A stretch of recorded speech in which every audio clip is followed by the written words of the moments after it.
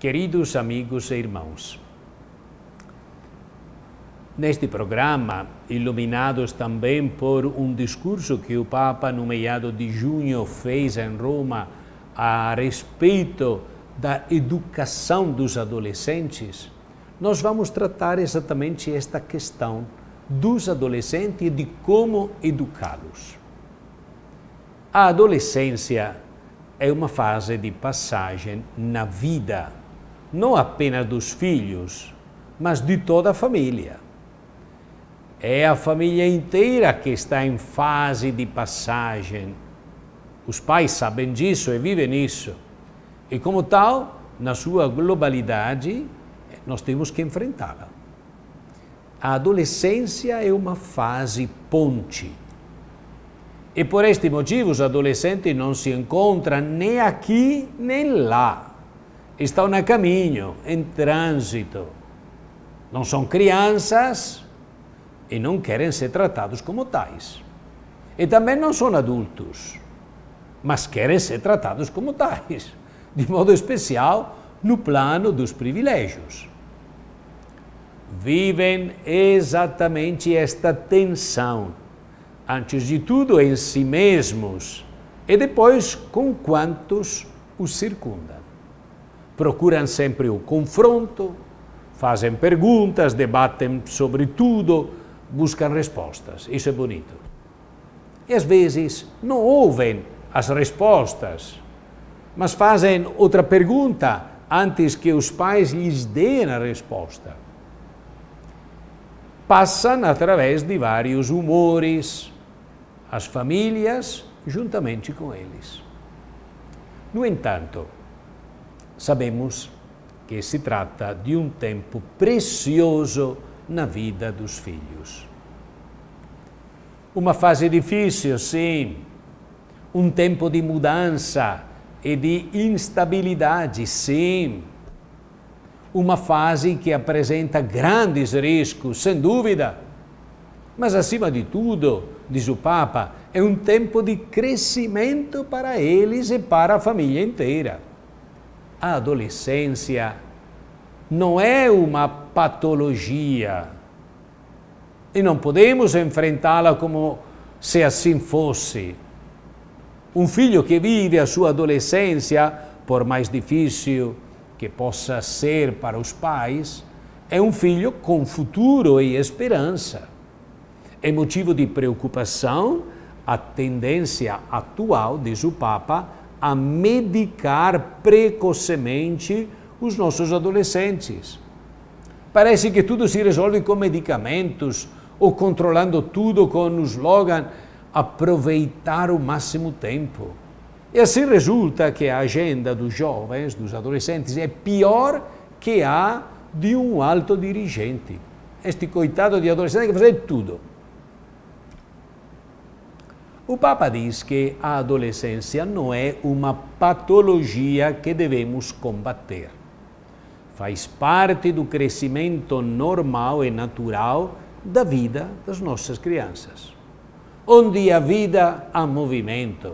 Onde há movimento, há mudança, busca, incerteza, esperança, alegria e também angústia e desolação enquadremos bem os nossos discernimentos no âmbito de processos vitais previsíveis. Existem limites que precisamos conhecer para não nos alarmarmos, para não sermos negligentes e sabermos acompanhar e ajudar a crescer. Não é tudo indiferente, mas nem tudo tem a mesma importância. Portanto, é preciso discernir quais batalhas devem ser travadas ou não. Neste caso, serve muito ouvir casais com experiência, que, embora não tenham uma receita a dar, ajudar-nos a, com seu testemunho, a conhecer este ou aquele limite ou variedade de comportamento. Nossos jovens procuram ser e querem sentir-se, logicamente, protagonistas. Não gostam de se sentir comandados nem de obedecer a ordens que chegam do mundo adulto seguem as regras do jogo dos seus cúmplices. Buscam aquela autonomia cúmplice que os faz sentir como se comandassem sozinhos. Nesta busca de autonomia que os jovens desejam, encontramos uma boa oportunidade, especialmente para as escolas, para as nossas paróquias e comunidades, os movimentos eclesiais. Estimular atividades que os ponham à prova, que os façam sentir protagonistas. Precisam disto, temos que ajudá-lo. Eles procuram de muitos modos a vertigem que os façam sentir vivos. Portanto, temos que dar esta oportunidade.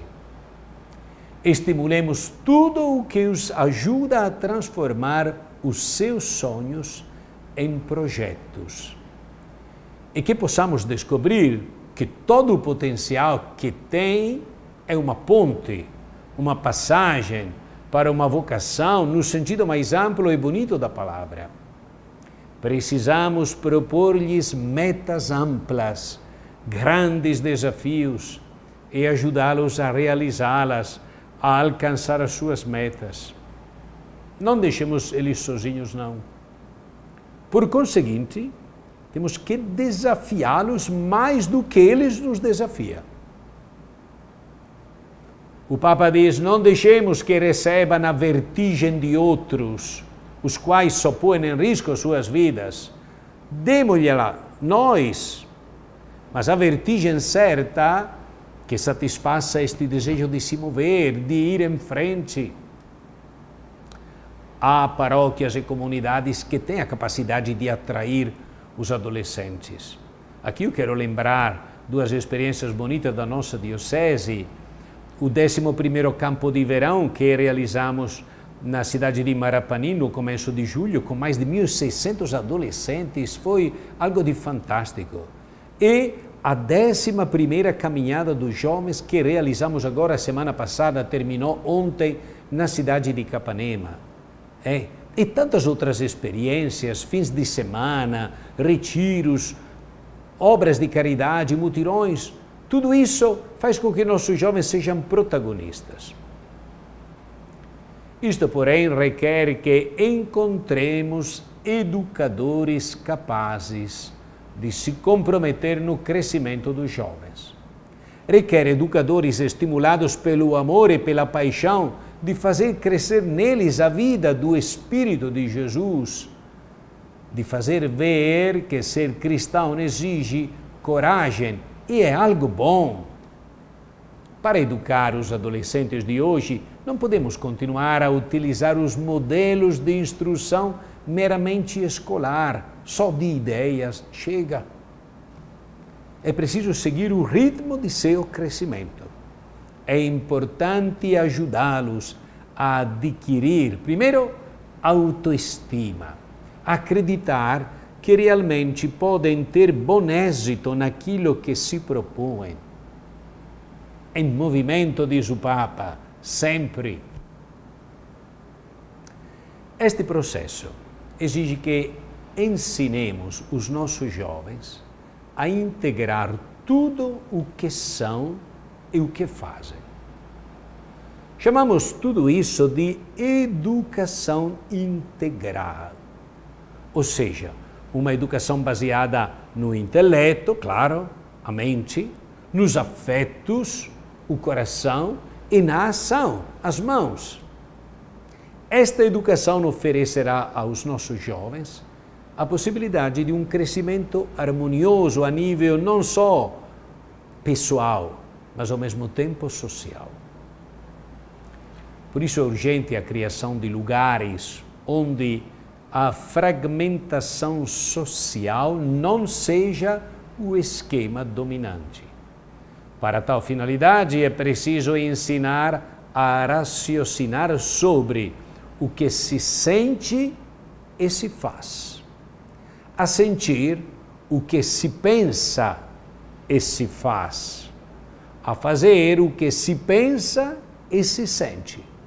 Isto é, integrar as três linguagens.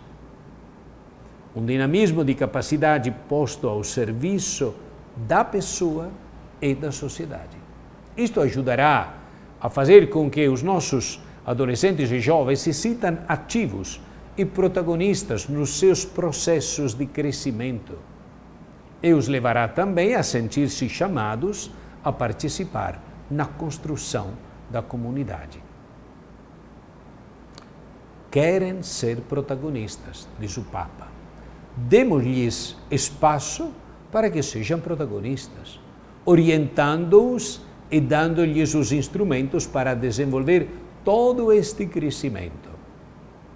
A integração harmoniosa dos diversos saberes, da mente, do coração e das mãos, os ajudará a construir a sua personalidade. Muitas vezes pensamos que a educação seja comunicar conhecimentos e ao longo do caminho deixamos os analfabetos emotivos e jovens com muitos projetos irrealizados, porque não encontraram quem lhes ensinasse a fazer. Concentramos a educação no cérebro, descuidando o coração e as mãos. E esta é também uma forma de fragmentação social. Nós precisamos integrar estas dimensões. Isso deve começar nas nossas comunidades, no nosso trabalho, na formação que nós realizamos é, no meio dos nossos jovens. Estimulados e encorajados pelo Papa, temos a certeza que este trabalho irá dar muitos frutos. Que Deus abençoe a todos em nome do Pai, e do Filho e do Espírito Santo. Amém.